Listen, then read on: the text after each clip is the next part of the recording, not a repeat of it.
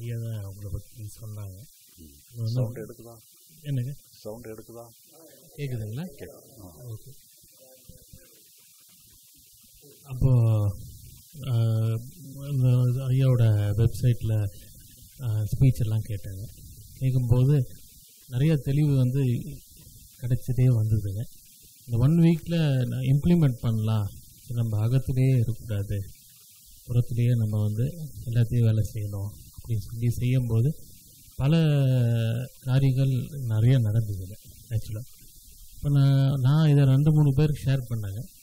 ரெண்டு மூணு பேர் ஷேர் பண்ண ஒரு ரெண்டு பேர் வந்துட்டாங்க இன்றைக்கி கிளாஸ் அட்டன் பண்ணுறதுக்கு அப்புறம் வரும்போது இன்னொரு நண்பரோடையும் நான் இதை பற்றி ஷேர் பண்ணிகிட்டே வந்தாங்க. நான் திடீர்னு ஒரு செய்தி மனசை பாதிக்கிற மாதிரி ஒரு ஒரு செய்தி வந்து வந்ததுங்க. வந்த உடனே அந்த உணர்வு வந்து ரொம்ப பாதிச்சிருதுங்க பாதிக்கும் பாதிக்கும்போது பக்கத்தில் இருக்கவர் கேட்டார் என்னங்க எப்போவும் புறத்துலேயே இருப்பேன்னு சொல்லுவீங்களா? என்ன அப்படியே சைலண்ட் ஆகிட்டீங்க அப்படின்னாருங்க அப்போ நான் சொன்ன புறத்தை விட அகத்தில் மாட்டிக்கிட்டாங்க. இப்போ இப்போ ஜுரமே வரும் போல் இருக்கு ரெண்டு கேட்கும்போது இப்போ நான் எப்படி அந்த உணர்வு விட்டு நான் வெளியே வர்றதுங்க? அந்த உணர்வை வந்து நான் எப்படி நான் புறத்தில் கான்சென்ட்ரேட் பண்ணி அதை எப்படி கன்வெர்ட் பண்ணுறது அதாவது இப்போ அகத்தில் உள்ள உணர்ச்சிகளே வந்து புறத்தோட சம்மந்தப்பட்டு தான் வருது. சும்மா அகத்துலேருந்து தானாலாம் வராது. புறத்தில் ஏதோ ஒரு பிரச்சனையை சம்மந்தப்பட்ட அளவில் நீங்கள் அகத்தில் வந்து அது ரிஃப்ளெக்ஷன் மாதிரி வருது.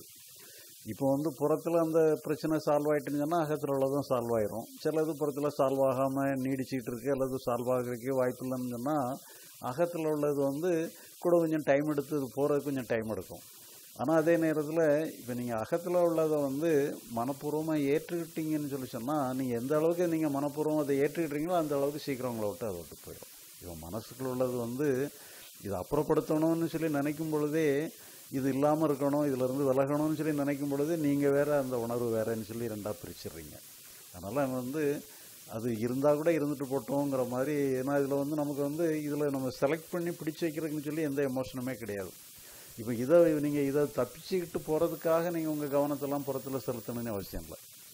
அது அப்புறத்தில் செலுத்தினா இங்கே உள்ள கவனம் போயிடும் புறத்தில் கவனம் வந்துடும்ங்கிற மாதிரி அர்த்தம் இல்லை. இங்கே வந்து உங்களுக்கு அகத்தில் வந்து அது அப்படி தானே சொல்லி நீங்கள் ஏற்றுக்கிடு எந்த அளவுக்கு நீங்கள் ஏற்றுக்கிட்டீங்களோ அந்த அளவுக்கு அது உங்களுக்கு பாதிக்காது. இப்போ இதே மாதிரி தான் ஒரு ஒரு லே ஒரு லேடி அவங்க ஒரு சின்ன பொண்ணு தான் இருக்குன்னு நினைக்கிறேன் நேரில் பார்த்துருக்கேனா பார்க்கலையான்னு தெரில அது ஒரு இடம் ஃபோன் பண்ணிச்சுது. இப்படி எனக்கு வந்து நான் வந்து ஒரு பையனோட பழகிட்டு இருந்தேன். அந்த பையன் வந்து என்னையை விட்டுட்டு இன்னொரு ப இன்னொரு பொண்ணை கல்யாணம் பண்ணிக்கிட்டான். எனக்கு வந்து இப்போ அதை தாங்கவே முடியல. படுத்தா தூக்கம் வரல. என்ன பண்ணுறது நிம்மதியே இல்லை. ஒரே டென்ஷனாக இருக்குது ஒரே பரபரப்பாக இருக்குது இந்த ஒரு ஒரு ஹார்ட் ப்ராப்ளம் வந்துருமோங்கிற அளவுக்கு அப்படி இருக்குன்னுட்டு சொல்லி ஃபோன் பண்ணிட்டுருக்கேன் அப்போ அந்த பொண்ணுகிட்ட கேட்டேன். இப்போ இது வந்து உனக்கு இந்த ப்ராப்ளம் ஏற்பட்டிருக்கு. இப்போ இப்போ அதே நேரத்தில் இப்போ அவன் வந்து சட்டப்பூர்வமான உங்களுக்கு ஏதாவது இருந்துன்னு சொல்லி சொன்னால் நீங்கள் அவன் மேலே நடவடிக்கை எடுக்கலாம் ஏதாவது ஒன்றும் பண்ணலாம். இப்போ அந்த மாதிரிலாம் உங்களுக்கு சட்டப்பூர்வமாக உங்களுக்கு எந்த விதமான இதுவும் கிடையாது ரிலேஷன்ஷிப் கிடையாது. அதனால் இப்போ நீ வந்து அவன் கல்யாணம் பண்ணிக்கிட்டான்னு சொன்னால் அது நீ ஒன்றுமே பண்ண முடியாது நடவடிக்கை எடுக்க முடியாது.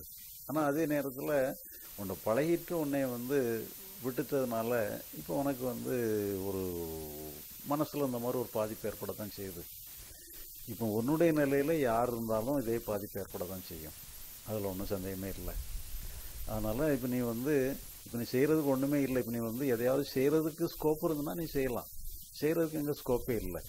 இப்போ மனப்பாதிப்பு மட்டும் இருந்துகிட்டு இருக்கு. இந்த மனப்பாதிப்பை பற்றி நீ எதுவும் பண்ணுறக்காங்க ஒன்றும் இல்லை. மனப்பாதிப்பை நீ ஏற்றுக்கிட்டு தவிர வழி இல்லை.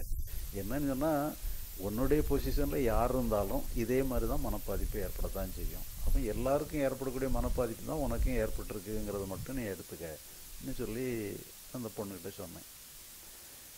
இப்போ நான் சொல்லும் பொழுது அது ஒன்றும் ஆறுதல் அடைஞ்ச மாதிரி அதுக்கு ஒன்றும் தெரியல. ஏன்னா நான் இப்போ இதில் என்னன்னு சொல்லியிருக்கேன்னு சொல்லி சொன்னால் ஒரு பிரச்சனையில் வரும் பொழுது மனசில் ஒரு வேதனை வருது.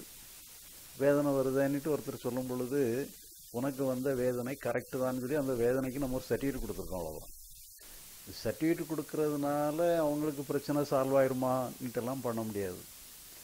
ஆனால் அவங்களுக்கு அந்த சர்டிஃபிகேட் மட்டும் தான் கொடுத்துருக்குறேன். பார்த்தான்னு சொன்னால் இது யாருக்குமே வந்து என்ன இப்போ இதுக்கு என்ன இது ஒரு தீர்வே இல்லையேங்கிற மாதிரி தான் தோணும். ஆனால் அது வந்து ஏதோ ஒரு வகையில் எடுத்துக்கிட்டது. அது அந்த நேரத்தில் அது ஒன்றுமே சொல்லலை. சரி அப்படியான்னு சொல்லி கேட்டுக்கிட்டது. அப்புறம் மறுநாள் காலையில் இது எனக்கு ஃபோன் பண்ணிச்சது. இப்போ இன்னைக்கு எனக்கு வந்து நான் இன்றைக்கி எழுமனிலேருந்து ஒரே ஆனந்தமாக இருக்கிறேன் ஒரே பரவசமாக இருக்கிறேன். ஏன் இந்த ஆனந்தம் இந்த பரவசம்லாம் ஏற்பட்டுதுன்னு எனக்கே தெரில நான் ஒன்றுமே பண்ணலை. சும்மா தானாகவே தான் வருது. சும்மாவே இருக்கும். அப்படியே பரவசமாக வருது. ஒரே ஆனந்தமாக இருக்குதுன்னு சொல்லிச்சது. அப்போ இதில் என்னன்னு சொல்லி சொன்னால் நம்முடைய மன உணர்ச்சிகளை மனப்பூர்வமாக நம்ம ஏற்றுக்கிடும் பொழுது அது நம்மளை விட்டு போயிடுது அது. நாம் வந்து அதை கண்ட்ரோலுக்குள்ளே எடுக்கணும்னு சொல்லி நினைக்கணும்னு நினைக்க அது இன்னும் கொஞ்சம் தான் பலம் பெறுது அதனால் வந்து எப்படின்னு சொல்லி சொன்னால் நீங்கள் மனப்பூர்வமாக ஏற்றுக்கிடுறது தான் நம்ம வழி வேறு ஒன்றுமே கிடையாது. நம்ம அதில் வந்து கண்ட்ரோலுக்குள்ளே எடுக்கணும்னு நினைக்கிறது தான் பிரச்சனை. இப்போ உதாரணமாக நாம் ஒரு நாம் ரெண்டு பேரும் ஒரு ரூமில் உட்காந்து பேசிகிட்டு இருக்கிறோம். நமக்கு வெளியே போகணுங்கிற அவசியமே இல்லை. ஒரு ரிலாக்ஸ்டாக இருக்கிறோம். ஒரு பரபரப்பு இல்லை எதுவுமே இல்லை. அமைதியாக இருக்கிறோம்.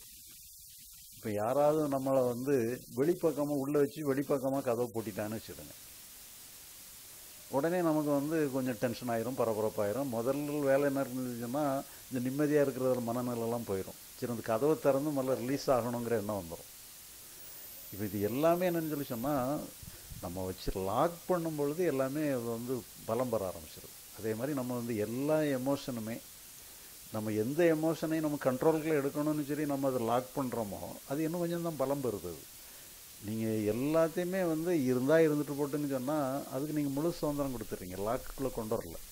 எப்படி இருந்தால் இருந்துட்டு போட்டுன்னு சொல்லி நீங்கள் மனப்பூர்வமாக ஒப்புதல் கொடுத்த உடனே அது தானாகவே போயிடுது.